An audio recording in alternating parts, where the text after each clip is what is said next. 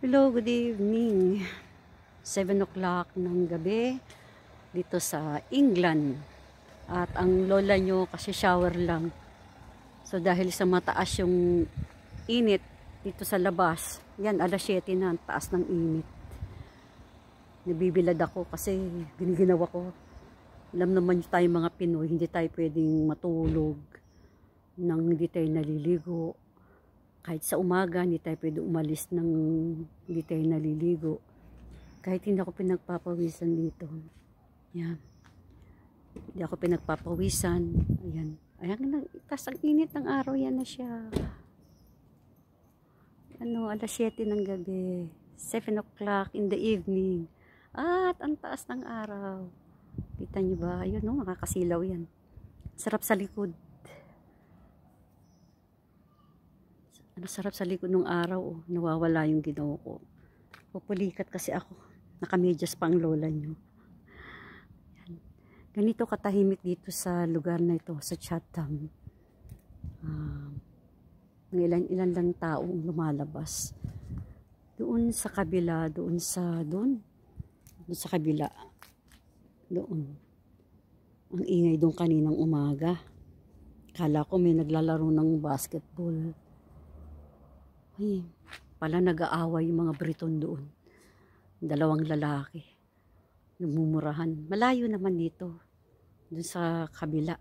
Pero madidinig mo rito. Eh, naglalakad ako. Kasi nga nagpapaaraw ako sa umaga. Tapos medyo lakad-lakad para galaw-galaw din. Ma, maano na sila o. Oh, nag, mahapo na yung pigeon. Ang lalaki ng pigeon dito. At dito sila sa puno na ito palagi nakalagay. Although mahapo dito sa puno na yan. Ayan. Init ng araw. Ang sarap sa likod. Tahimik dito. Gusto ko dito. Sabi nung kaibigan ko, wala daw Pilipina rito. Walang foreigner. So far ako pala ang Pilipina. Ang sarap sa likod ng araw. Pero okay lang giniginawa ko eh. Lakad akong konti dito. Ayun yung bahay ng aking kaibigan. Diyan ako naka, nakikitulog. Naghapon tong wala eh. Kaya ako lang nandito sa bahay. Nandoon siya ngayon doon sa kaibigan niya. May ginagawa sila. Doon siya doon sa ayun, corner na yun. Mabait siya. Bait yung friend ko. Magalang. Uh, ano siya. Ma... Tawag dito. Kasi may training ng militar eh. Kaya marunong siya. Old soul din eh. Ayun yung kotse niya. Oh. Tingnan yung trip niya sa kotse niya. Lakas ang trip eh. Oh. Pinapinturahan ng pinapinturahan niya ng ganyan no. Militar talaga. Alakas ang trip. Sabi ko, bakit niya pinampitar, pinampinturahan? Eh, like it. Gusto ko eh. Para sa atin. Ayan na. Mahapon na yung mga pigeon sa taas. Sila. Parang Harry Potter, no? Dito yata kinuha na yung Harry Potter eh. Ayan. Parang siyang Harry Potter. Ayan. Lagyan natin ng sound ng Harry Potter to. Ayan. Nadidinig nyo yung sound na yun. Mga ibon yun. Yan, may dumadating.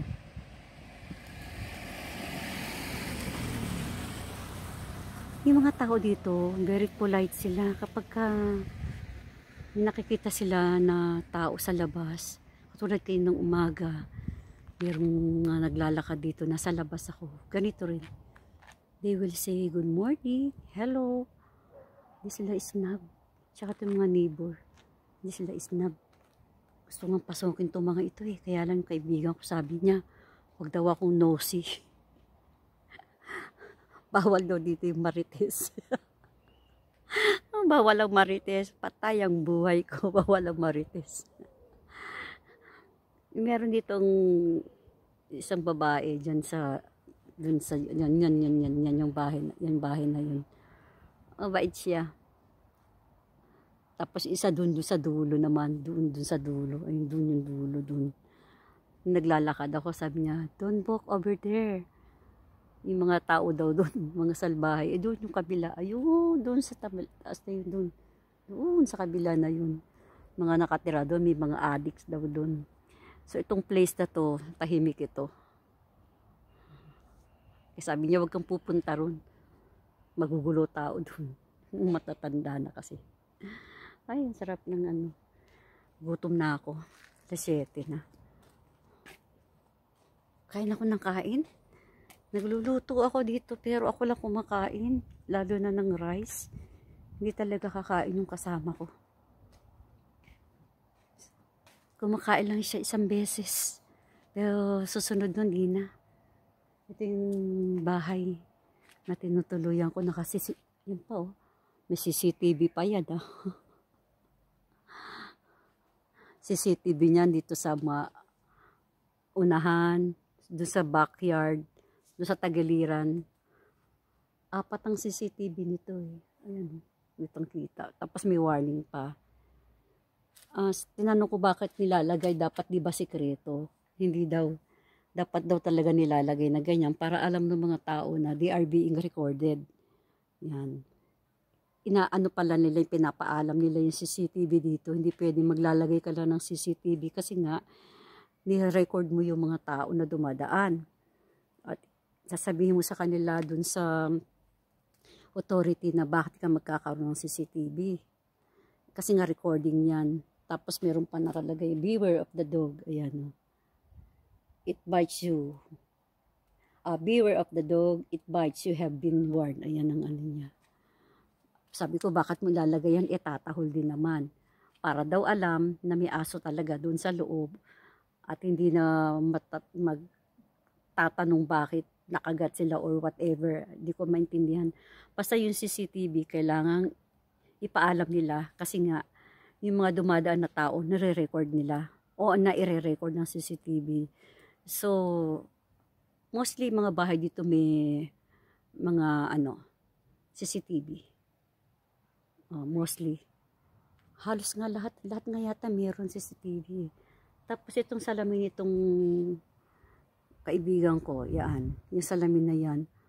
One way mirror yan.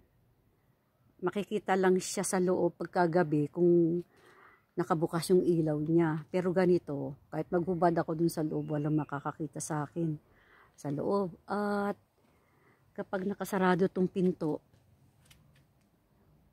ano yan, soundproof yung tawag yan. Hindi, hindi maririnig sa labas.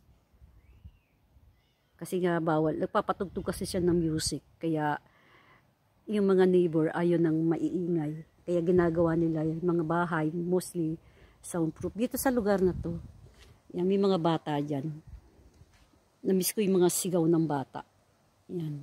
May naglalaro yung mga bata dito sa bahay na yan okay lang. Kasi bata naman sila eh. Yun lang. Ito yung aking ano ngayon, vlog ko. Uh, tagal pa ako rito.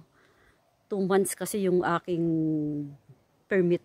Kaya medyo matagal-tagal pa ako. Madami-dami pa akong pupuntahan. Hindi naman pwede kasi umalis araw-araw. Siyempre kawawa naman yung gasolina at saka yung nagtatrabaho rin yung kaibigan ko. So kung meron siyang time, doon lang kami aalis.